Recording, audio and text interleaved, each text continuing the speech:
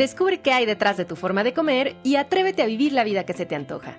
Esto es De qué tiene hambre tu vida con Ana Arismendi.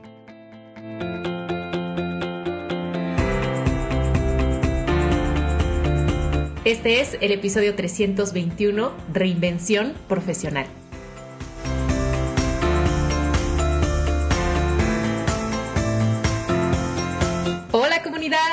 Alegría coincidir una semana más en este espacio.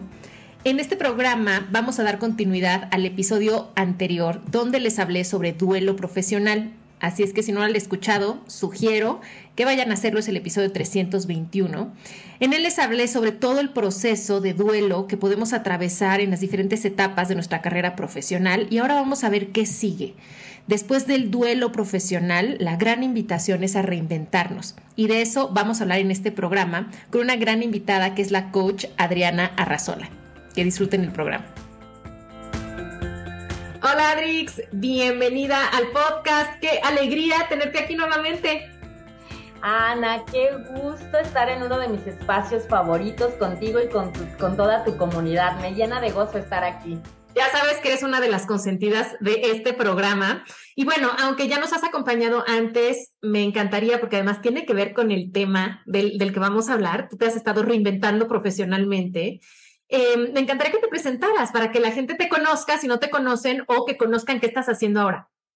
Gracias, Ana. Pues mira, yo soy eh, actualmente, soy coach de vida y me dedico a la reinvención profesional, además de que soy escritora y emprendedora. Eh, tengo varios años ya trabajando como coach, pero esta es, digamos que mi segunda profesión, porque durante muchos años yo fui, yo trabajé como contadora, que fue la primera, mi primera profesión, y ahora me dedico a acompañar a todas esas personas que tienen ganas de reinventarse, pero no saben cómo hacerle. Desde que puede ser desde la parte de, no sé, quiero algo distinto, pero no sé qué, allá sé que quiero hacerlo, pero no sé cómo hacerlo. Fíjese comunidad que cuando Adrix me platicó, ¿no? Que estaba eh, enfocando su coaching a esto de la reinvención profesional, bueno, desde el término me pareció poderosísimo y además muy necesario, porque creo que eh, cada vez vamos a ver más que eh, le vamos a ir dando como diferentes rumbos a nuestra profesión. Entonces, quiero preguntarte, Adrix, primero, si nos pudieras definir bien qué es esto de la reinvención profesional, ahorita nos las platicaste un poquito, pero también tú cómo, cómo llegaste a, a, dedicarte a este tema. Mira, Nana, la forma más sencilla de decir qué es la reinvención profesional es que cuando tú te reinventas profesionalmente, estás cambiando la forma en la que te presentas al mundo. Tiene mucho que ver del terreno del hacer. Ahorita más adelante vamos a platicar porque a veces se confunde con el terreno del ser. Pero realmente la reinvención sería como hacer un cambio de rumbo, como si tú vinieras en la carretera en tu coche y dijeras que vas para el norte y llevas varios años yendo hacia el norte y llega un momento en el que dices, ahora voy a hacer un alto y voy a girar en otra dirección.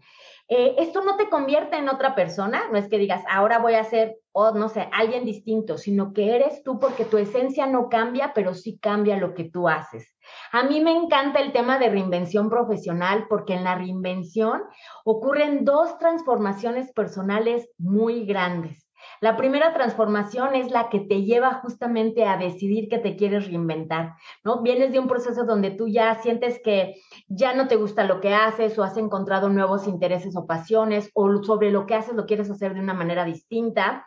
Y después la segunda transformación que ocurre es cuando decides reinventarte. Todo ese camino de reinvención implica también otro, eh, otra transformación personal. Ya lo comenté también de alguna manera, pero es que cuando tú te reinventas de profesionalmente, esto puede ser que tú cambies a tu profesión o que tú cambies la manera en la cual estás desempeñando tu profesión. De hecho, tú ya platicaste en un capítulo anterior sobre, sobre esto.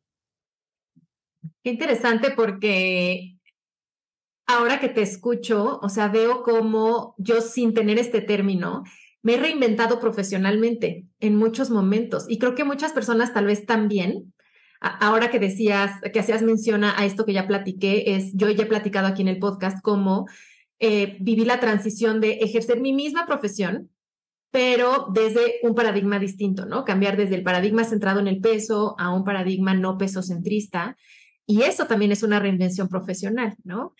Y otras personas lo que hacen es sí hacer un cambio radical, ¿no? De dedicarse a una cosa, de haber estudiado una cosa, dedicarse a otra cosa. Entonces, qué, bonito como reconocer que la reinvención, creo que es un proceso, ¿no? En el que muchos estamos, eh, pero al que a veces nos resistimos. Sí, sin duda es un proceso en el que muchos estamos, que muchos ya lo hemos transitado o lo han estado transitando y a lo mejor no lo has reconocido como tal. Y quizá cuando nos escuches hoy te des cuenta de que efectivamente ya lo has estado haciendo y que si lo quieres, si a lo mejor no, no con esta conciencia, pero pues más a si ya lo quieres ahora hacer, ya puedes hacerlo en conciencia utilizando muchos de los recursos que te llevó ya a reinventarte. Yo, Ana, fíjate que llegué a esto de casualidad, por así decirlo. Yo tenía ya varios años ejerciendo como coach y hace un par de años de repente eh, me empezaron a buscar algunas personas justamente para eh, que se encontraban en este punto en el cual decían, oye, quiero hacer un cambio, no me quiero dedicar a esto, pero no sé cómo hacerle. Y empezaban conmigo procesos de coaching para trabajar justamente esta parte. De repente me di cuenta que ya no era una persona a la que llegaba, sino que ya habían llegado dos, tres clientes que me estaban, que venían con el mismo tema de reinventarse. Y eso me puso como focos rojos. Y entonces empecé a abrir mi mente hacia ello y descubrí que alrededor mío había muchos conocidos, muchos amigos que estaban en este mismo punto donde decían, oye, ya mi carrera profesional, el trabajo que estoy desempeñando, ya no, y quiero algo distinto, pero muchas veces ni siquiera sé qué es, o algunos ya lo tenían claro, pero el atreverse a dar ese paso, a dejar esta, esta primera profesión a una nueva, pues era lo, estaban ahí atorados, ¿no? Y entonces cuando noté esto, dije, vaya, es un tema que puede ser interesante eh, darle la, o sea, abordarlo desde el coaching, ya lo estaba haciendo con alguno de mis clientes. Y hasta ese momento, Ana, dije, ah, caray, pero si eso fue lo que yo hice no, hasta ese momento dije, ah, pues sí es cierto, si yo ya me reinventé profesionalmente y con un giro bastante, bastante drástico, por así decirlo. Yo estuve eh, más de 30 años trabajando en el mundo corporativo. Yo, mi primera carrera fue contadora pública.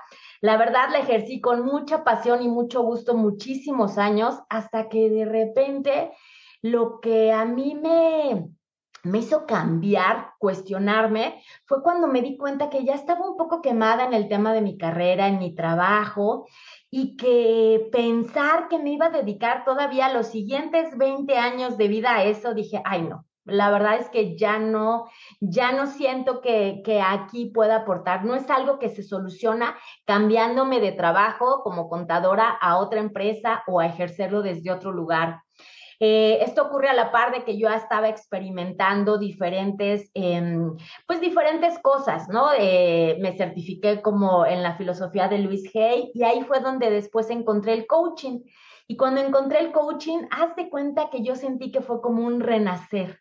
O sea, de repente toda esa apatía que yo tenía en mi trabajo, todo ese cansancio, todo ese burnout, de repente el coaching vino así como sentía yo como cuando estudiaba la carrera de contadora, ¿no? De decir, quiero más, quiero aprender, me estaba certificando, me quiero empapar de este tema, claro que me quiero dedicar a eso. Y en el momento en el que empecé a visualizar una nueva profesión que, es el coaching, hazte cuenta que yo, o sea, creía, que, o sea, pensaba en muchas cosas, la emoción, sentía la emoción y las ganas, ¿sabes? Este, este renacer, ¿no? Este volver a, a, a, conectar con algo que me gustaba, donde sentía que podía ser útil, donde mis talentos podía ponerlos al servicio.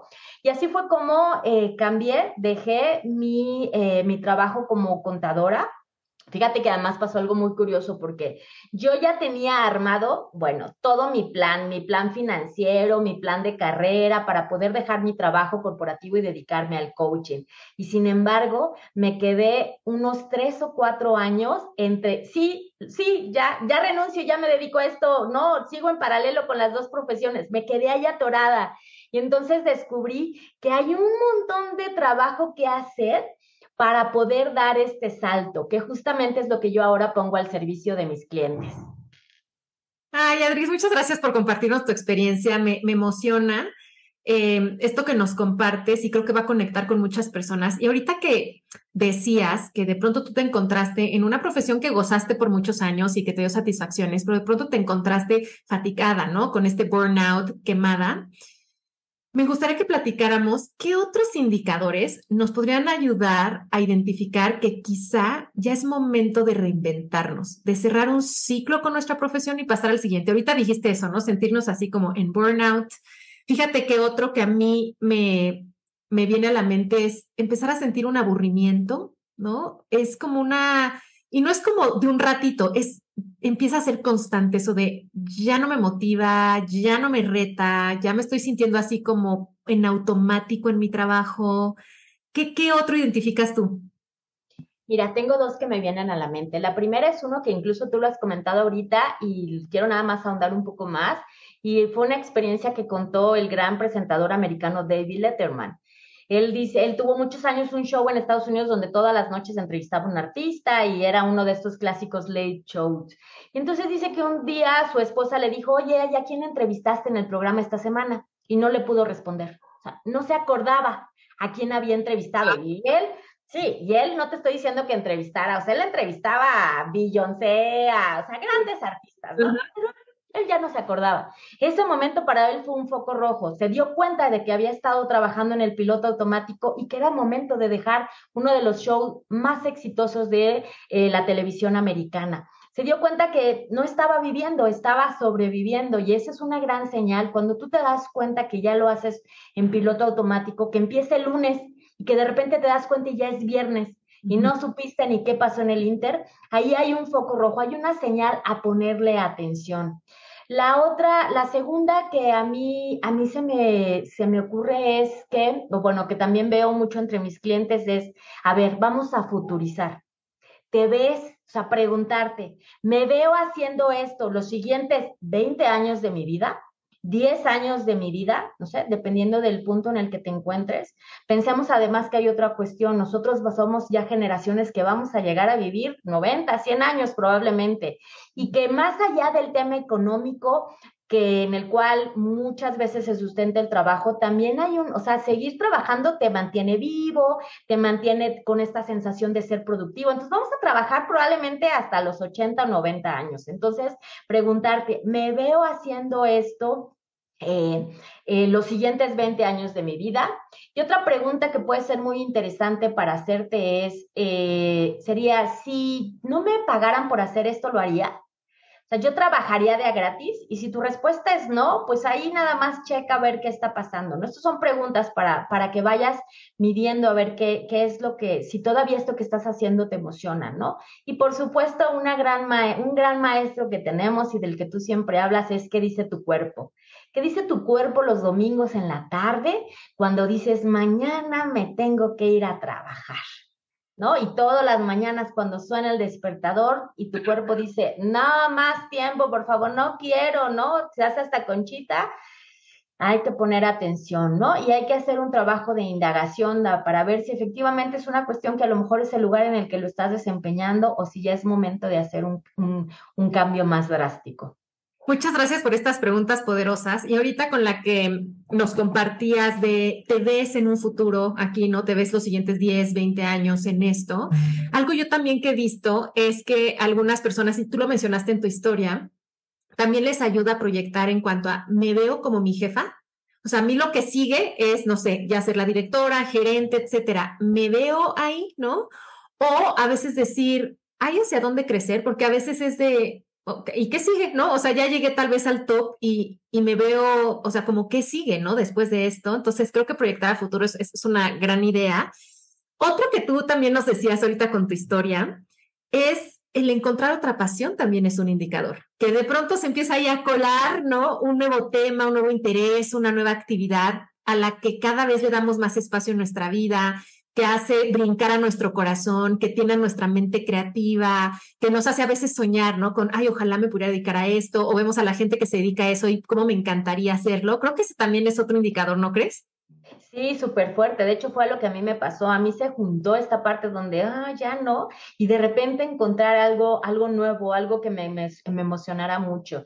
Y para este tema me gustaría mucho invitar a la gente a que exploren, ¿no? A que estén, ¿no? Porque a veces estamos tan metidos en el día a día lo que estamos haciendo que no descubrimos cosas nuevas. Entonces, a veces sí, pero es un gran indicador, algo que te emociona más, que dices, voy para, voy a buscar para allá, voy a explorar. Oye, y uno último que sí me gustaría poner sobre la mesa es que en muchas ocasiones la reinvención profesional no viene de una inquietud personal o de una decisión. También a veces la vida nos pone en eso, ¿no? Hay personas que de pronto pierden el trabajo o que por alguna razón, ¿no? Viene esta, ya no puedo hacer lo que estaba haciendo. Y qué importante también tomarlo eso como una oportunidad. Eh, es un duelo muy profundo, ¿no? Cuando viene un cambio laboral que no esperamos, que no buscamos, que no queríamos, pero que finalmente es, es la realidad. Y también decir, bueno, tal vez esta es, es una invitación a reinventarme, ya sea en mi misma línea profesional o quizá moverme a otra. Y creo que muchas personas cuando no lo toman como una oportunidad de reinventarse, se quedan muy atoradas en el duelo. Sin duda, es un gran golpe, es algo que pasa mucho y que sí, efectivamente, la gran diferencia es que si lo ves como una oportunidad. Fíjate que esto me recuerda mucho a como nosotros crecimos, muchas veces había pensado que, pues si ya te aguantabas en el trabajo lo que estabas haciendo, te esperabas a la jubilación y entonces sí ibas a hacer lo que tenías ganas de hacer, ¿no? Entonces, eh, empezar a, romper con estas ideas te permite que en el momento en el que tú no lo decidas, sino que alguien más decidió que hasta ahí, hasta ese día vas a hacer ese trabajo, lo tomes como esta oportunidad, viviendo el duelo y todo lo que ahorita también vamos a platicar, pero decir, ok, esta es una oportunidad para qué, ¿no? Y de ahí partir. Y ahorita que tocabas esto de cómo era la vida antes, ¿no? Cómo, con qué ideas crecimos o qué vimos, ¿no? Cómo, cómo vivieron su vida profesional nuestros padres, nuestros abuelos. Creo que también este tema de la reinvención profesional es muy importante y hace tanto clic ahora porque la vida ha cambiado muchísimo. Lo que primero decías, ahora vamos a vivir más años con más calidad de vida y más años productivos. ¿Qué queremos hacer con eso? Por otro lado, antes había mucho la idea de te metes un trabajo, lo haces por toda tu vida, te jubilas y ya, y ahora no hay la certeza de eso. O sea, no hay un trabajo que te garantice que ahí vas a poder estar 30 años y un día jubilarte y que te, van a dar una pensión. O sea, esa vida ya cambió.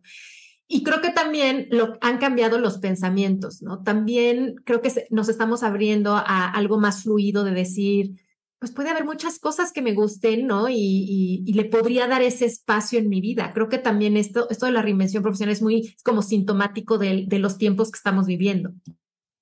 Sí, sin duda, ¿eh? O sea, estoy segura que la mayoría de los papás de los que están, nos, nos están escuchando ahorita ni se lo plantearon. Era como de, aquí me voy a jubilar y ya, ¿no? Pero a mí lo que me gusta mucho platicar con, con, con, las, con mis clientes de reinvención profesional es contarles que estamos viviendo un, o sea, tenemos una educación para un mundo que ya no existe. Nos educaron con un set de creencias y de información para un mundo que hoy en día ya no existe. Entonces, todos los que andamos 30, 40, 50, es como de, a ver, ¿no? Porque ya las nuevas generaciones ya vienen con todas estas nuevas ideas, pero nosotros es, espérame, ¿cómo que? No, o sea, ya no, difícilmente vas a encontrar un trabajo donde te dé para comprarte una casa para unos hijos, para jubilarte y con una pensión, eso ya no existe, el mundo está cambiando y no solo eso, también otra de las grandes oportunidades que nos presenta es que todas esas profesiones que eran las profesiones, las buenas profesiones, o sea, sé doctor, sé, este, sé contador, sé licenciado, ¿no? Las acreditadas, de, porque son las que, de las que vas a vivir muy bien, ¿no? Ya iba uno a estudiar aunque no le gustara eso porque pues era lo bien visto, ¿no? Hoy en día te puedes dedicar, o sea, a hacer videos y de eso puedes vivir, te puedes dedicar a hacer fotos, a hacer programas, en fin, o sea, ya el mundo nos, nos está presentando la oportunidad de dedicarnos a cualquier cosa que nos guste. Sí, y esto también, qué emocionante es, ¿no? Porque es la oportunidad de desarrollar muchos talentos. Em, cuando nos estabas compartiendo tu historia, Drix, dijiste que del momento en el que tú decidiste, ok, ¿no? O sea, quiero cambiar mi profesión, quiero moverme hacia otro lugar, a que lo hicieras, pasaron años, ¿no? O sea, no es, no meses, pasaron años. ¿Qué sientes que pasó ahí? Había miedos y me gustaría que habláramos de cuáles son los miedos, porque sí es cierto que hay mucha gente que dice, es que sí, yo ya no me veo aquí, pero no del paso. ¿Qué, qué, pasa? ¿Qué miedos surgen? Sí, fueron varios años donde yo sentía que me encontraba en daba un paso para adelante y uno para atrás, ¿no? Sabes, cuando te quedas en un bucle donde sí, no, sí, no, y había semanas donde decía, hoy sí renuncio, esta semana sí renuncio. No, no, espérame. Claro, mira, había muchos miedos, muchos asociados a una mentalidad, o sea, a muchas ideas que yo no había terminado de trabajar y que el coaching me vino a ayudar a trabajar para que yo pudiera dar el paso desde no estoy lista, desde, bueno, porque además yo estaba haciendo un cambio donde yo había sido empleada durante 30 años de mi vida y había decidido que mi nueva profesión la iba a ejercer desde un emprendimiento, ¿no? que no tiene que ser forzoso para todos porque no es para todos, cada quien decidirá cómo es, ¿no? Pero, por ejemplo, era como de, oye, yo tengo una paga mensual asegurada, ahora sí que nomás con presentarme a trabajar, ¿no? Ya haciendo, pero era, y ahora pues yo tengo que ver de mis propios, o sea, tengo que organizarme con mis propios recursos. Había un miedo a no dar el ancho, había un miedo, había, ¿sabes también que había temor a enfrentar el duelo? Porque también pasa, ¿no? De decir, claro, hay un montón de pérdidas asociadas, pérdidas, por ejemplo, incluso del estatus. ¿Cómo la licenciada ahora es coach? Mira, nada más, ¿no? O sea, como pobre que ya, no, no le queda de otra, ¿no? O sea, sabes, un montón de ideas que eran en ese, al principio eran más fuerte que mis ganas de reinventarme, al grado que me quedé en ese bucle un buen tiempo. Entonces, el trabajo de la reinvención, pues no solo es pues ya cambio y mañana me dedico a esto otro, ¿no? Y a ver cómo le hago. Es un proceso que transcurre en un tiempo. ¿Qué tiempo? Eso dependerá de cada quien, de cada quien y del cambio que enfrente y de los, y cuando digo, de los recursos que va a necesitar para hacerlo. Y cuando digo recursos no son únicamente económicos, esa es una parte de la ecuación. Recursos emocionales, recursos mentales, o sea, ¿cómo vas a hacer para cambiar muchas de estas ideas que pues te tienen ahí atorada, ¿no? Entonces eso fue lo que a mí me detuvo durante ese tiempo y que afortunadamente tuve de las herramientas para poder trabajar al grado de decir, estoy lista para irme, por favor, señores, ¿no? Este, ya, negociamos mi salida, que fue al final lo que yo pude hacer, y digo, ok, ahora sí, ya lo ya se concretó y empiezo con esta nueva profesión. No de cero, que esta es también otra de las grandes ideas que tenemos, ¿no? Que era, ¿cómo voy a perder todo lo construido? No, no se pierde, se transforma y muchísimo de hecho te sirve para poder construir lo nuevo. Ah, gracias por decir esto último, porque creo que ese es un gran miedo, ¿no? De mucha gente dice, pero ¿qué voy a echar a la basura todo lo que hice antes o voy a desperdiciarlo? Y entender que no, o sea, esta es una reinvención, ¿no? O sea, como retomando y nada más redirigiendo como hacia dónde voy, pero desde la persona que hoy soy, con todo el conocimiento, los recursos, los contactos que, que, hoy tengo. Oye, me gustaría poner sobre la mesa también un par de, de miedos que yo identifico mucho. Uno, la edad o sea, creo que también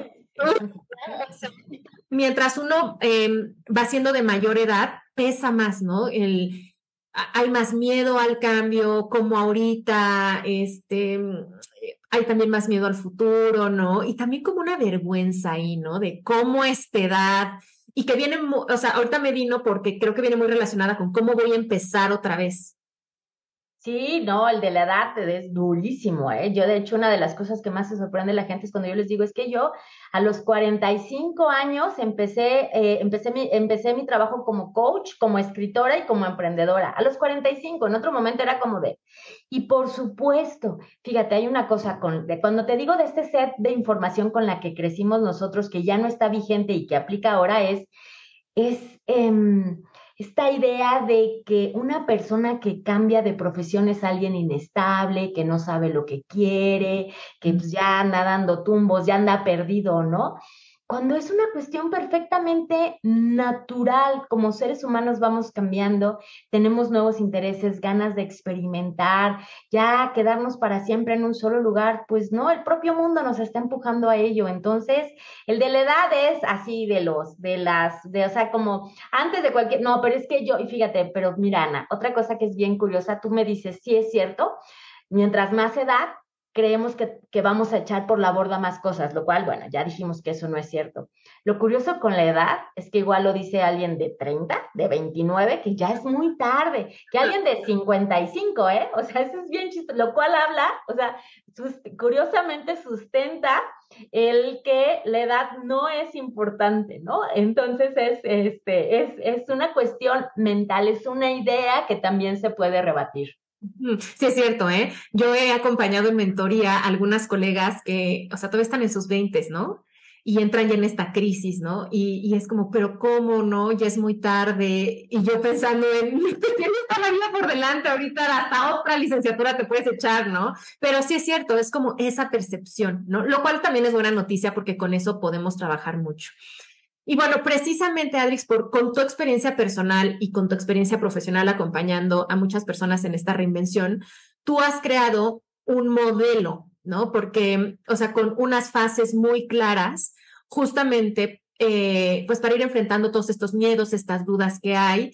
Y fíjate que me gusta mucho que sea un modelo con fases, porque creo que también algo que se experimenta mucho en este proceso y sobre todo al inicio es sentir mucha confusión y como que sentirnos muy abrumados, o al menos esa ha sido mi experiencia, ¿no? Como decir, a ver, sí quiero hacer este cambio, pero ¿cómo? Y se ve tan grande y se ve tan difícil y, luego a veces hay esta confusión de, pero ¿qué hago? ¿Hago esto? ¿No lo hago? ¿Cuándo lo hago? Que eh, como todo ponerlo en un proceso y darle cierta estructura, creo que también es como muy sanador y baja mucho esta sensación de, pues, de ansiedad.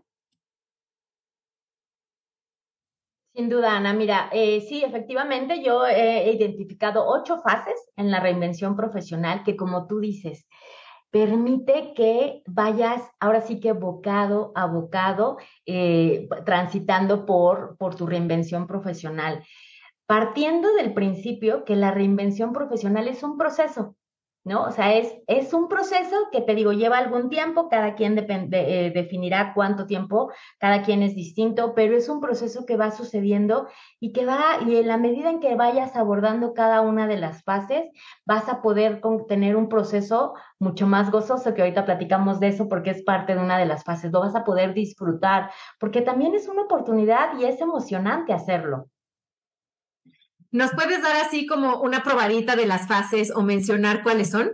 Sí, mira, eh, la primera fase es la fase de tomar la decisión y muchos dirán, espérame, ¿cómo si yo tengo ganas de reinventarme? Y pues ya, no, tomar la decisión es decir, sí, me voy a reinventar y empezar a tomar, a, tomar acciones que te permitan darle esta certeza a tu cerebro de que te estás reinventando. Si tú no tomas la decisión, solo tienes un deseo, unas ganas de, ay, ¿qué puedo? Ojalá me reinventara, quisiera hacer un cambio. Y ahí te puedes quedar y pasan todavía muchos años más antes de que decidas hacerlo. Entonces, la primera parte es, la primera fase es tomar la decisión y decirlo así como con todas sus palabras, con todas sus letras, incluso comunicarse a quiero reinventarme profesionalmente. Oye, qué emoción, se me puso hasta la piel chinita porque es cierto, cuando uno ya lo dice como esto es lo que quiero y esto es lo que voy a hacer, cambia, cambia lo que tú decías de ser solo un deseo, un anhelo, una idea, un sueño, a eso ya lo aterriza y abre la oportunidad para empezar a planearlo. Por supuesto, y empezar a tomar acciones. La segunda etapa es algo que tú manejas muy bien, que es vivir el duelo. Eh, fíjate, y lo primero que me gustaría decirte respecto al duelo es decirte que el duelo no se planea, o sea, puedes contemplar que van a suceder varias cosas del duelo, pero en realidad el duelo se vive, porque hasta que lo vives, vas a saber exactamente a qué es a lo que te vas a, a lo que te vas a eh, enfrentar, ¿no? ¿Qué emociones son las que se te van a presentar? Y en esta fase del duelo, por supuesto que hay esta pérdida que genera dolor, pero también hay muchas oportunidades. Entonces, utilizar esta fase para conectar con lo que dejas, pero también con lo que viene. Sí, me encanta que hayas incluido una fase de duelo y, me encanta que esté desde el inicio, porque sí me parece crucial. Y, y, no reconocerla y no trabajarla puede ser un gran obstáculo, ¿no? De, para continuar con el proceso, ¿cierto? No, bueno, no solo un obstáculo, Ana. Muchas personas se quedan ahí entre no lo quiero vivir y entonces ya no se reinventan y entonces la mente además pues nos mete en la trampa de pues es más fácil regresar a lo conocido, aunque ya no me guste, aunque ya no me genere emoción, pero pues aunque sea en piloto automático, pero pues me regreso. Entonces, no, no saber que viene el duelo y no transitar en él puede hacer la diferencia entre reinventarte o no. Me gustaría que nos detuviéramos un poquito más a hablar de esto del duelo. A veces las personas se asustan con el término duelo, ¿no? Se asusta, lo relacionamos mucho con muertes, fallecimientos, mucho dolor, pero también el duelo es nacimiento. En el duelo es, es poder darnos un espacio, salir del corre-corre. Entonces, cuéntame un poquito más de esto. Mira, yo lo he identificado y lo tengo muy claro porque a mí me, a mí me sucedió algo que me tomó totalmente inesperada. Yo te comenté que em, dejé el mundo corporativo para dedicarme a mi emprendimiento de coaching y yo tenía, yo más o menos tardé seis meses en salir de la empresa seis meses en lo que yo platiqué y, dije, oigan, quiero salir, ¿cómo le hacemos? Y según yo, en esos meses, en, esos seis meses, en lo que llegó el día en que fue mi último día de trabajo, según yo, ya había trabajado el duelo. Ya había, ¿no? Voy a, va, a haber pérdida de esto, sí, la transición, tal, ¿no? Yo, de hecho, termino de trabajar un día viernes del mundo corporativo y el lunes, sentada en la computadora en mi casa, dije, ahora sí, viene mi trabajo como coach, de lleno, tal. Y yo me sentía muy mal y como yo ya había pensado que había pasado la etapa del duelo, yo no podía identificar qué era lo que me estaba sucediendo, pero yo sentía, sentía incluso el cuerpo en esta parte como de, de ya habíamos dicho, ¿no? Como cerrado, como con, con desánimo. Yo decía, pero si esto, o sea, tengo años queriendo en esto y finalmente lo conseguí, ¿cómo es que ahora tengo apatía, tengo dudas, tengo tengo el síndrome del impostor de no lo voy a lograr hacer. ¿Cómo es que ahora estoy viviendo? Si tengo años preparándome para esto y ahora que sucedió, ¿cómo es que estoy viviendo? Entonces me di cuenta, cuando ya lo pude nombrar con el apoyo de especialistas, dije, claro, estoy viviendo en duelo. Estoy eh, enfrentando todo lo que he perdido, ¿no?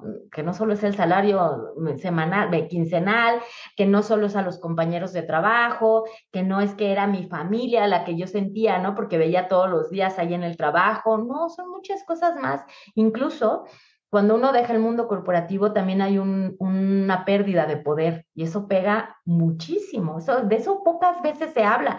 Yo decía, ¿qué esto que me pasa a mí? ¿No? Yo tenía además un puesto directivo y pues yo tomaba el teléfono y se hacían, pasaban cosas, ¿no? Y de repente estoy en mi casa y ni hay teléfono, ¿no? Y me acuerdo que me reía porque yo decía, le pido, hasta le pido algo a mi gatita y ni ella me hace caso, ¿no? Entonces era como de, ¿Qué está pasando? ¿Qué es todo esto? Nadie habla de esto, de estas pérdidas que uno tiene, ¿no? Sobre todo cuando eso es un cambio de estar en una empresa a trabajar por tu cuenta.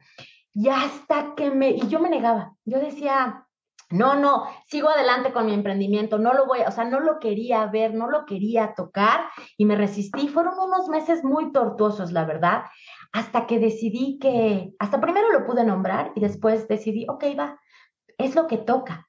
Y en ese momento que ya empecé a conectar con todas esas pérdidas, entonces fue cuando también pude empezar a conectar con las oportunidades, con lo que venía, reafirmar mi el para qué de lo que estoy haciendo.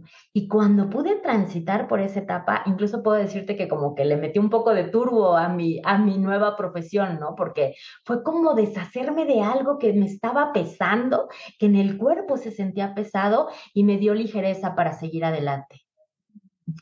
Muchas gracias por compartirnos cómo fue para ti, Adrix, porque ahorita nombras algo que es muy importante. Muchas personas a veces pueden decir, bueno, quizás sí, ¿no? Estoy viviendo un duelo porque estoy haciendo este cambio grande, pero a veces también vienen como muchos duelos. Es que no es nada más un duelo. Cuando hacemos una reinvención profesional, vienen un montón de duelos que luego no son, no son tan evidentes porque se ven, entre comillas, chiquitos. Por ejemplo, ahorita el que decías, el duelo del poder o del estatus. ¿no? Eh, el duelo, por ejemplo, de las rutinas. Mm. La vida que nos da una rutina es nuestro trabajo. Y a veces hasta perder eso es importante y hasta puede generar confusión, ¿no? Y a veces no se sabe manejar bien el cambio de rutina. A veces el duelo por la pérdida o el cambio de un espacio físico, ¿no? Cambiar de donde trabajábamos, la zona, la oficina, eh, lo que había físicamente, a veces eso también representa un duelo. No se diga las relaciones teníamos y, lo, cómodo que a veces son ya ciertas relaciones, perder eso, ¿no? Ahora de pronto, eh, a veces en un nuevo trabajo, como tú decías, nadie me conoce, soy nueva, yo no conozco a nadie, o hay veces personas, sobre todo quienes hacen esta transición como tú, ¿no? De un, un mundo donde eres empleada y te acoge toda una empresa a de pronto estar tú sola en tu casa y esta sensación de aislamiento y de dónde está toda la gente, ¿no? Y, hay muchos eh, duelos que se dan y nada más me gustaría decir que el duelo es el proceso, como tú decías, natural y automático que se da cada vez que hay un cambio importante en nuestra vida. Entonces, el duelo no es opcional, o sea, el duelo se va y se iba y se va a ir dando, además me gustaría decirlo, ¿no? O sea, a veces hay duelos que se van presentando hasta más adelante, que nos enfrentamos a otras situaciones. Entonces, este trabajo de duelo creo que es, es, es algo continuo y que sí hay que estar abiertas al dolor, a la confusión, a la duda, a la culpa, al arrepentimiento, a mil cosas que surgen con el duelo, para que entonces también puedan surgir las cosas muy lindas que vienen, como el duelo también es ese espacio para capitalizar aprendizajes, es el espacio también para dar las gracias, es el espacio también para cobrar conciencia de que ya no me sirve de eso del pasado y poderlo soltar y ya no estarlo cargando. Yo muchas veces siento que cuando no elaboramos bien el duelo, eh, seguimos viajando, pero con una mochila bien pesada, llena de cosas que luego ya ni nos sirven, pero que ahí las estamos cargando y esa mochila no nos permite ir al ritmo que deberíamos ir, nos genera dolores, somatizaciones. entonces, a veces también siento que estar con el duelo estancado es como tengo un pie del pasado, una parte de mí está en el pasado, entonces no puedo estar yo 100% presente en lo nuevo porque siempre estoy como en el pasado. Entonces también es como permitir cerrar bien para poder abrir y estar presente. Tú mencionabas algunas formas que me gustaría ahorita nombrar de cómo podemos darnos cuenta si estamos en duelo profesional. Entonces tú decías primero pon atención al cuerpo, ¿no? Sí, el cuerpo, del cuerpo nunca miente y siempre nos da, ¿no? Yo decía, por ejemplo, no te entusiasma mucho lo que estás haciendo, pero el cuerpo, en el cuerpo no se, no hay el entusiasmo, no lo refleja. No hay energía, claro. No hay energía, ahí está, se siente pesado. El, el duelo es, estamos cargando cosas que no hemos, eh, que no hemos terminado de soltar y que ahí vienen y que, pues, para soltarlas hay que verlas. Entonces, el, el, cuerpo, efectivamente, ¿no? tu nivel de energía, el cómo tienes estas ganas, ¿no? Tus estados de ánimo, qué emociones. El duelo en el duelo hay mucha tristeza y a veces nos, nos cuesta mucho reconocer la tristeza, pero la tristeza siempre es un llamado a la introspección. Entonces, el darte la oportunidad, pero si hay mucha tristeza, ok, conecta, ahí hay un duelo, hay algo pendiente que toca, ¿no? Y em, el extrañamiento, cuando tú extrañas muchísimo, ¿no? Así de, ay, es que extraño mi comida con mis compañeros, extraño que a la hora de la comida iba yo al gimnasio que estaba junto, o sea, y eso también me gustaría mencionarlo, Ana, es que no, no puedes dimensionar a qué es lo que te vas a enfrentar en el duelo y no, y sobre todo es importante que no le des una categoría así como, ah, estas son nimiedades.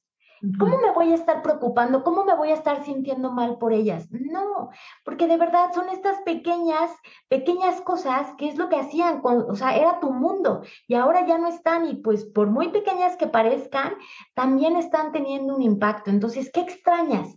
¿Qué es lo que te gustaría seguir teniendo? Pues porque a lo mejor ahí hay procesos de duelo pendientes. Y ahorita que dices esta nostalgia, esta extrañar, cuando mencionabas tristeza, también decir que es muy normal que eso coexista al mismo tiempo con entusiasmo, con sensación de libertad, con alivio. Hay muchas personas que dicen, ¿por qué unos días me siento con la pila, la motivación y otros días no? Normal, ¿no? O sea, saber que pueden, y de hecho coexisten todas esas emociones y, y es, es, parte del proceso, ¿no? Eso de de pronto surge la tristeza, pero como a veces no le damos el espacio, ¿no? La callamos tantito y al rato vuelve a resurgir, ¿no? Entonces también el duelo es la invitación a deja que eso salga para que ya salga de una vez, ¿no? Y entonces te deje ir ahora sí como a todo motor hacia adelante. mencionaste algo que se me hace bien interesante, síndrome del impostor, la impostora. Yo creo que muchas personas no se dan cuenta que una de las raíces del síndrome del impostor puede ser un duelo atorado. Sí, exacto.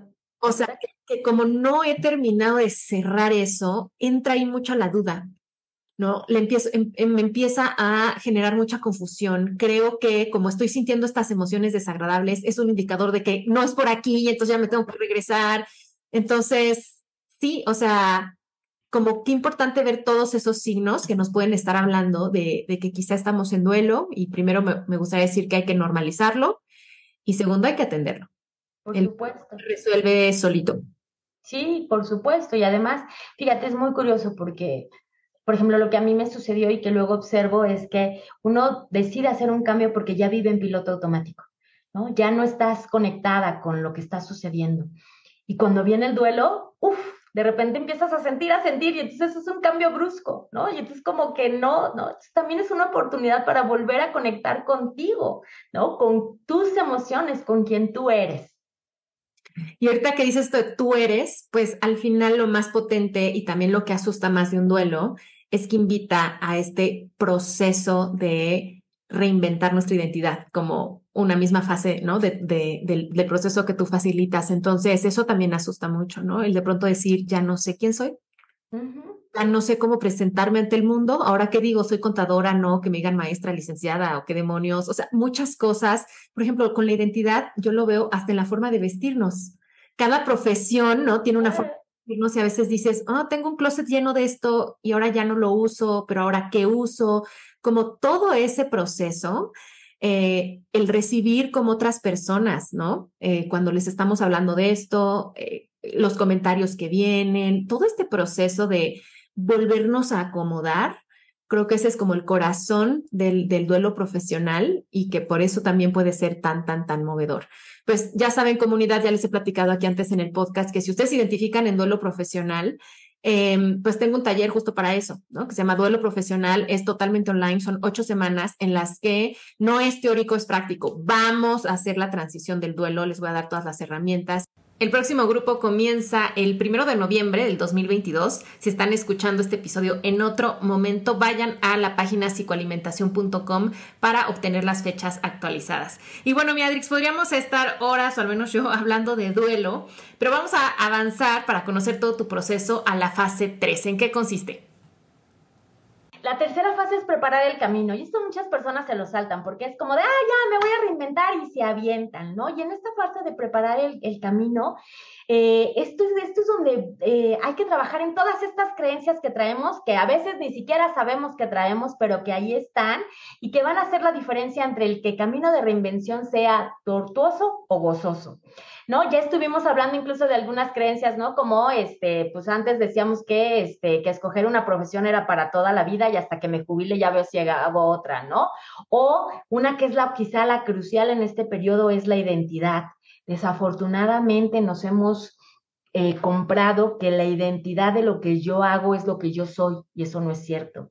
Entonces, ese trabajo de decir, de desidentificarte de yo no soy lo que hago, es solo una faceta más de entre mi vida, es algo bastante fuerte que igual, o sea, si no te trabajas, pues ahí le estás dando vueltas porque no, yo era, no, pues ya no soy, y ahora quién soy, ¿no? Entras, puedes entrar en una crisis existencial. Qué profundo, también hace un ratito que te escuchaba, cómo a veces los títulos pesan tanto, ¿no? A veces los títulos nos dieron estatus y nos abrieron posibilidades, pero si nos aferramos al título y como tú dices, lo convertimos en nuestra identidad, empiezan a pesar muchísimo y a bloquearnos ver otras opciones o como tú dices, o hacer el camino mucho más pesado.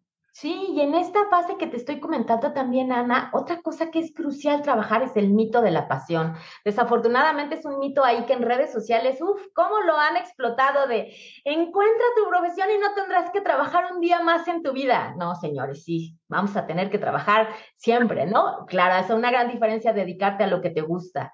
A mí más que hablar de la profesión, de la pasión, porque además la pasión es como de como una cosa mágica. Un día me voy a encontrar esta nueva pasión y mi mundo, bueno, voy a trabajar en lo que quiero, me voy a hacer rica, famosa y, ¿no? Como por arte de magia, como si estuvieras en una película de Hollywood y no es cierto.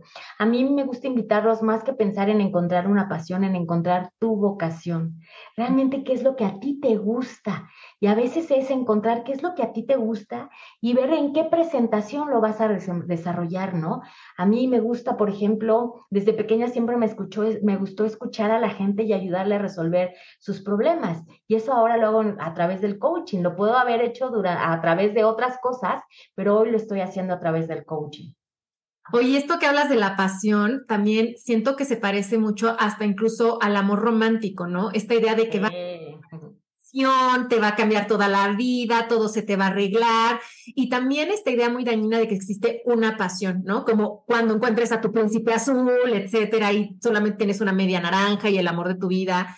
Y creo que también es quitarle, ¿no? Como desidealizar tanto esta idea y, y, también decir, puedo tener muchas, o sea, no es como que hay muchas cosas que me pueden gustar, mis gustos van a cambiar y más bien me gusta esto que dices, ¿no? Conectar con una vocación, algo más profundo y saber que esa vocación se puede expresar de mil maneras y que de hecho es natural que cambie la forma en la que vamos expresando esa vocación, potentísimo. Sin duda alguna, ¿no? Y tú no sabes la cantidad de correos que yo recibo de, de, personas que me dicen, es que, mira, nada más estoy esperando encontrar mi pasión para reinventarme, para hacer el cambio. No, y además esperan como una lámpara que va a aparecer a mitad de la calle y wow, cambia y eso no, eso rara vez sucede.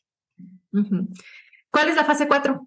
La, la, la fase 4 es sostener el proceso, porque mira, por más motivación y ganas que tengas de reinventarte, por más que te encante lo que estás haciendo, van a venir retos y retos fuertes, ¿no? Retos y es necesario contar con las herramientas que te permitan sostener el proceso, porque ya lo hablamos hace ratito, la mente, para la mente es más fácil regresar a lo conocido aunque ya no te guste, ¿no? Entonces hay que trabajar en ciertos hábitos para que cuando la motivación desaparezca, puedas seguir construyendo tu reinvención profesional, hábitos que incluso te permitan encontrar, ¿no? Muchas personas también se quedan atoradas porque no saben a qué se quieren dedicar. Entonces, también desarrollar los hábitos para encontrar esta nueva profesión a la que te quieres dedicar o cómo hacer una nueva, cómo dedicarte sobre lo mismo, pero de una manera distinta. Encontrar también aliados que te permitan sostener el proceso, porque ya vimos que allá afuera hay todavía muchas voces que hablan que alguien que está cambiando de profesión a más edad, no, que inestable, esta persona no sabe lo que quiere, ya le llegó la crisis de los 40, ¿no? Y ya está haciendo, está haciendo tonterías. Entonces, para sostener el proceso vas a necesitar ciertas herramientas que te permitan, sobre todo, en los momentos que flaquees, que decides claudicar para poder seguir adelante. Qué importante esta fase porque lo que más me gusta es que parte de reconocer que como proceso va a tener sus altas y sus bajas y que va a haber momentos de reto. Y si ya lo sé desde un inicio, me puedo preparar para eso. Y también quitar la fantasía de que, ay, todo va a ser bonito porque estoy conectando con mi nueva vocación. O sea, decir, va a haber retos, vamos a prepararnos a ello. Y también porque como que la motivación y el estado de ánimo van cambiando, ¿no? Hay momentos en los que estamos como muy animados y sí, emoción, y otros en los que no tanto, y eso también está bien. Días en los que vemos todo negro, ¿no? Días en los que vemos un futuro hermoso. Entonces, saber que eso es parte y tener las herramientas para irlo afrontando. Sin duda, sin duda, porque te digo, no es este mito de, ay, va a ser todo miel sobre hojuelas porque estoy conectada con una pasión. No es cierto, vas a, habrá días en los que no quieras hacer nada, habrá días en que digas, mejor regreso a lo que estaba. Y entonces ahí es donde toca echar mano de estos elementos para poder salir adelante. Buenísimo. Fase 5. La fase 5 es experimentar. Y esto viene un poco también unido de lo anterior, porque a veces creemos, no, ya le di, ya sí, es esto y voy, ¿no? Y de repente dices, ay, no era, no, no era, no, pues me regreso a donde estaba. No, no, no, toca experimentar, ir viendo, ir probando, a lo mejor me gusta esto, pero no, ya decidí, pero experimentar. Fíjate que una de las cosas que yo me ha tocado mucho trabajar con mis clientes es que dicen, es que ya lo pensé y no. Ajá, pero ¿qué hiciste para? Ya probaste, ya diste una clase, ya vendiste un pastel, ya sabes, ya te me... No, no, pero ya lo pensé, no, pues no, es que si no experimentas, si no atraviesas por lo que esto significa, pues igual, ¿no? Te vas a quedar, ¿no? Y Aquí hay que romper con la idea, es que va a ser la primera y va a pegar a la primera. No, hay que experimentar, porque incluso aunque esa sea nuestra nueva profesión, sí sea, a lo mejor vas a tener que buscar por qué camino es el correcto o el que mejor te acomoda para poder ejercerla, ¿no? En mi caso me pasó, yo empecé como coach del gozo, entonces era como, estaba muy, ¿no? Y la vida me fue llevando ahora por reinvención profesional, entonces hay que experimentar, hay que ir probando, no y que cada nuevo intento no sea como un fracaso, como, ay, no, no sirvo tampoco para esto. Y la fase de experimentación además es muy interesante porque ahí vas a descubrir que tienes más de un talento y más de una pasión. Y además que te puedes dedicar a todas ellas, porque también otra de las ideas con las que crecimos era, no, yo solo soy esta, yo estoy en esta cajita, ¿no? Estoy en la cajita de contadora y no me puedo dedicar a otras cosas. Yo mucho tiempo ejercí como contador y como coach, o sea, puedes ir ejerciendo diferentes. Ahora, además de, de, de, de coach, soy escritora, ¿no? Y eso lo descubrí experimentando. Entonces, así vas viendo y vas encontrándote con nuevas pasiones e intereses también para dedicarte a ello. Me gusta mucho la palabra experimentar porque creo que nos invita a una exploración como curiosa y hasta más lúdica, ¿no? Como decir, vamos a experimentar, como dices, a veces somos muy deterministas de, ah, no, entonces ya escogí una cosa, tiene que ser esto, y es decir, como experimenta. Me encanta también porque es sacarnos de la mente, ¿no? Como que a veces nos quedamos con esta idea de que estamos haciendo el proceso, pero solamente lo estamos planeando. Y es como, no, a ver, órale, ya empieza, ¿no? hacerlo, hacerlo real y la verdad es que hasta que no se experimentan, no descubrimos muchas cosas. O sea, una cosa es la idea que tengo en mi mente y otra cosa es ya lo que estoy haciendo. Eh, y sabes que ahorita que decías eso de, de aventarte, eh, yo siempre digo que sobre todo la primera vez que hacemos algo, siempre hay que, hay que, hay que pensar que lo hacemos no tanto por obtener el resultado, sino por obtener información es como yo digo, como en las series, ¿no? Que siempre el primer capítulo es el piloto, es una prueba y en esa prueba se descubren muchas cosas y se hacen muchos cambios para lo que sigue en la serie, ¿no? Entonces creo que eso también le baja un poco de la carga de, me tiene que salir a la primera, ¿no? Si no me salió, qué terrible, ¿no? Pase lo que pase con la primera, te da información que te sirve para el siguiente paso.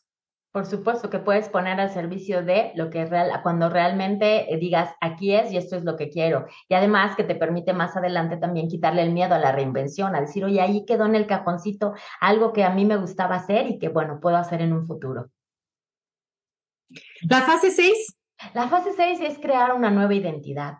Aquí es un tema muy complejo, ya lo habíamos hablado en la primera parte de las fases de reinvención, porque estamos muy identificadas con nuestra profesión. Entonces, desidentificarte y crear una nueva identidad, que nuevamente no es que te conviertas en otra persona. Cuando hablamos de identidad, estamos hablando de ciertos rasgos y características. Entonces, ir creando esta nueva identidad, esta nueva profesión, te permite ir avanzando en el proceso. Y si no lo sabes, cuáles son esos rasgos o esas características, te puede ayudar muchísimo preguntarte qué hace alguien que ya lo hizo, ¿no? Si a lo mejor ahora quieres ser, quieres vivir de hacer pasteles, es ok, ¿quién alguien que vive de hacer pasteles ya hizo? ¿Cuáles son? ¿Qué es su día a día? ¿Qué hace? ¿Qué va haciendo todos los días para que tú vayas creando esa identidad y acabes de crearte, de creértela y de concretar el proceso? Qué potente, porque también es como ir o sea, la reinvención profesional, tú lo decías en un inicio, hay mucho enfoque en el hacer, pero también aterrizar a cómo el hacer siempre transforma al ser, ¿no? Sin duda, ya hablábamos que la reinvención trae una transformación, transformación personal y esto tiene mucho que ver con la identidad, ¿no? Con crear esta parte de quien ahora eres. ¿Y las últimas fases, Adrix? Las últimas dos. La primera, la fase 7, es disfrutar el proceso. Y esta parte es muy importante porque, fíjate, eh, pensemos en esta manera, lo que tú construyes desde el disfrute va a ser muy distinto a lo que tú deconstruyas desde el dolor. Entonces, cuando hay disfrute, tu propio cuerpo se expande, ¿no? Piensa cuando te ríes, cómo se abren hasta los pulmones, ¿no? Cuando hay dolor, estás, estás contraído, no te permites que entre algo nuevo. Entonces, hacerlo del proceso desde el disfrute te permite incluso abrirte a nuevas posibilidades, a nuevas ideas que no habías visto y te permite que el proceso sea gozoso. Sí. Perdón, pero nada más, a veces se nos olvida disfrutar, ¿no? O, sea, o de pronto lo tomamos con tanta seriedad que no es que no la tenga, porque si es una decisión mayor de vida, sin duda hay muchas cosas en juego, pero qué, bonito meterle, y bueno, tú le tenías que meter el ingreso forzosamente. Así es, Ana. Y fíjate que la última fase es prepararte para un nuevo ciclo de reinvención. Y esto cuando yo se los pregunto a mis clientas que están en la primera, me dicen, ¿qué? Si todavía no termino la primera y tú, no, porque la primera es la difícil y la que cuesta trabajo, pero ya lo platicamos tú y yo, Ana. Estamos en, en proceso de reinvención y además, si vamos a vivir tantos años, ¿quién te dice que tienes que dedicarte a lo mismo, no? Fíjate que las nuevas generaciones que te digo que ya vienen con otro chip, con otro set de información, ellos ya saben que al menos se van a tener que reinventar dos o tres veces en su vida para profesiones que ni siquiera existen todavía, porque pues, hay mucho, mucho, viene cosas, vienen cosas nuevas, ¿no? Entonces, nosotros subirnos a este tren y decir, efectivamente, oye, ¿quién soy yo y a la edad que tengo? Pues no sé cómo voy a estar en 10 años, ¿no? A mí cuando me preguntan, yo digo, yo soy coach por ahora, porque la verdad es que aunque me guste, bueno, el día de mañana puedo girar, ¿no? Entonces, decir, ok, que, prepararte para este nuevo ciclo de reinvención, a lo que yo los, las invito es a, a, ver cuáles son los aprendizajes, cuáles son las herramientas que me funcionaron, qué, qué es información mía que voy a poner, que voy a dejar ahí lista para cuando venga una nueva reinvención. Qué bonito, es como cultivar una actitud de apertura ante la vida, ¿no? Y de decir, estoy abierta, ¿no? Abierta a lo que pueda venir y cómo se va a ir transformando esto. Exactamente, y eso además hace mucho más ligero el proceso porque ya es como de, ay, te estás riendo, sí, pues ya me toca. Adrix, a ver, yo sé que tú guías este proceso tanto de forma individual como de forma grupal. Yo ya me emocioné ahorita de escucharlo, ¿no? O sea, y no sé cómo, o sea, ahorita comunidad que nos escuchen, pero cómo se siente diferente, ¿no? El, primero, como tener la idea que a veces asusta y da mucho entusiasmo, pero cómo poner ese miedo y ese entusiasmo también ya dentro de un proceso emociona y tranquiliza también. Entonces, a ver, cuéntanos un poquito más de, cómo se puede vivir este proceso. Pues mira, antes que nada me gustaría decirles que eh, voy a tener el gusto de participar en el taller de duelo profesional de Ana que eh, ya platicamos que es una de las fases del proceso de reinvención y que, bueno, Ana aborda eh, sobre todo sobre la parte vivencial, que ya decíamos, el duelo se vive, no se piensa, no se planea, se vive. Entonces ahí voy a tener la fortuna de impartir una masterclass de reinvención profesional en las cuales les voy a, vamos a ahondar en estas ocho fases del proceso de reinvención. Y bueno, ya también si quieren que trabajemos de forma, de forma grupal o individual, yo tengo un programa que se llama eh, Diseña tu segundo aire profesional. Ahí acompaño a personas justamente que no tienen ni idea, solo tienen las ganas de que no han incluso tomado la decisión y que inscribirse a este taller, que la parte, el, el grupal lo vamos a empezar en el mes de noviembre. Eh, tomen la decisión y empiecen a actuar. ¿Dónde pueden encontrar mi información? Estoy en www.coachadrix.com. En Instagram también me encuentran como Coach Adri o me pueden escribir a mi correo adrix.coachadrix.com. Buenísimo. Ya saben que voy a dejar aquí todos los datos de contacto de Adrix en las notas de, este episodio. También ahorita que hablabas de, de tu proceso grupal, qué interesante vivirlo en grupal, ¿no? O sea, como que lo, grupal y lo individual ambos tienen como sus riquezas, ¿no? Cosas diferentes que se trabajan, pero qué bonito porque creo que también algo que da mucho miedo es sentir que somos las únicas o los únicos, ¿no? O sea, soy la única loca que ya no se siente a gusto o que quiere cambiar y cómo le hago. Y cuando vemos que hay otras personas ahí, eh, da también mucha tranquilidad y vamos aprendiendo del proceso de otros. Qué, qué lindo. Por supuesto, y además, ¿sabes qué?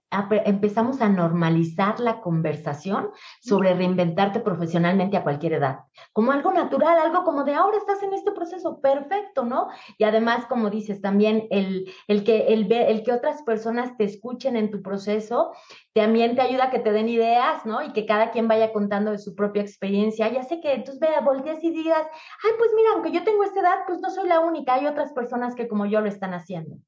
Mi querida Adrix, pues muchísimas gracias por habernos acompañado. Eh, de verdad que este es un temazo, o sea, creo que da para, para muchísimo y qué bonito saber que hay alguien que nos puede acompañar. Muchos nos aventamos nuestras reinvenciones profesionales lo mejor que pudimos. Eh, qué bonito podernos sentirnos sostenidas, acompañadas eh, por alguien y además alguien que ha vivido ese, ese proceso también.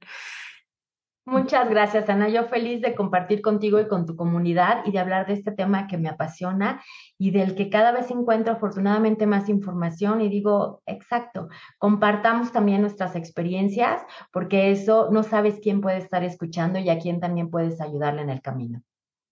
Y pues ya sabes que es tradicional cerrar este programa con la pregunta maestra. Cuéntanos, Adrix, hoy en día de qué tiene hambre tu vida.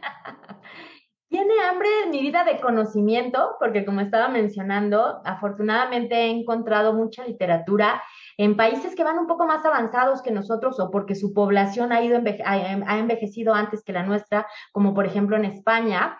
eh, o en países de Europa. Entonces tengo mucho conocimiento de leer, me estoy devorando muchos libros al respecto de reinvención, además es información que puedo compartir con mis clientes. Este, entonces tiene ahorita hambre de saber más, de, de saber más de este tema. Gracias, mi Adrix. Pues te mando un abrazo con mucho cariño y comunidad. Gracias por escucharnos y hasta el próximo episodio. Esto fue De qué tiene hambre tu vida con Ana Arismendi. Para más información visita www.dequetienehambretuvida.com.